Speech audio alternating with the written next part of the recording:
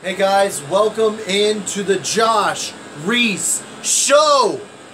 I am the face of Houston sports, and I appreciate that this is the place you come when you want to find out about a game, you want to find out about a player, you want to find out about something that's happening at Houston sports. I hope you check out this YouTube channel because chances are I'm talking about it and I've already talked about it. But we're coming to you tonight live from Minute Maid Park right after the Astros 5-1 win over the Los Angeles Angels of Anaheim. That is a mouthful to say. Los Angeles Angels of Anaheim. Why did they have to add the Anaheim on the end? Really? That's pretty stupid.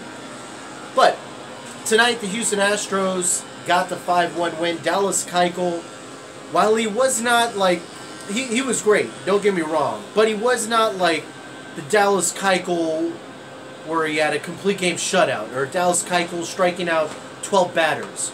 I mean, he still struck out 7, so he had a pretty damn good game. But this will not go down as one of Dallas Keuchel's greatest pitching performances in the history of the Dallas Keuchel book.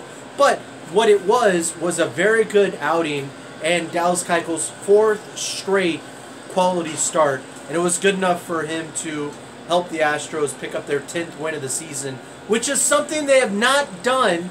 Excuse me, let me restart that sentence. Which is something the Astros did not do last year until the 10th. Let me restart that sentence again. Which is something the Astros did not do last year until May 4th.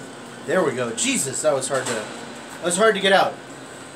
But on the game overall, you had two stars. You had Dallas Keuchel and you had Josh Reddick. And today they combined, or on Wednesday I should say, because who knows when you're watching this. It might not be today. It could be tomorrow. It could be any day. Whatever. Uh, they combined to help the Astros pull out the W. Josh Reddick on the game had three hits. He scored three times. He drove in two, run, uh, two runs. Dallas Keuchel pitched seven innings. He gave up one run. He struck out seven, allowed a one walk, and I think he had nine. Gave up nine hits. I think it was nine hits. Uh, but overall, a very, very uh, good game by the Stros. This was not a massive like blowout or massive shutout, but it was it was a very good game and uh, one we've seen from Dallas Keuchel before. Uh, so Wednesday night, the real story for Dallas Keuchel was pretty much down to two innings. In the third inning, Dallas Keuchel gave up pretty much his only blemish of the game when he allowed uh, a double and then a single drove home Danny Espinosa, and uh, I believe it was Danny Espinosa. Uh, a single drove him in. Uh, Dallas Keuchel rebounded, was able to get um, was able to get two groundouts to end the inning, and not two groundouts end the inning to any like random jobbers or jamokes. He ground he got Mike Trout. He got Albert Pujols to go down weekly on groundouts. Uh, great effort by Dallas Keuchel, but he would also run into a little bit more trouble in the sixth, rather. Excuse me. He'd also run into a little bit more trouble in the fifth inning after allowing a lead-off double. You think, oh Jesus, well, it was nice. Maybe maybe Dallas Keuchel might give up another run. Maybe you know this might be an inning where it starts to get a little bit more dicey for Dallas Keuchel. But what did the Angels do? They bunted the ball to try to move the runner over to third. What did Dallas Keuchel do? Picked up the ball, threw the runner out at third. You cannot bunt on Dallas Keuchel. I don't know how many times he has to prove it.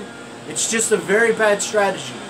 You can bunt on four of the other Astros pitchers whenever they start, but bunting on Dallas Keuchel is bad business. Dallas Keuchel threw him out and was able to escape the inning without anything else happening. Josh Reddick, as I mentioned, uh, had three hits on the night. He fell a single short of the triple. And AJ Hinch mentioned after the game his biggest hit of the game came in the seventh inning when he launched the ball for a home run, giving the, uh, giving the Astros a little bit of breathing room and uh, really helping them kind of seal the deal for the win. Now, a little bit of unique stuff happened in Wednesday's game, AJ Hinch brought in Ken Giles for the eighth inning.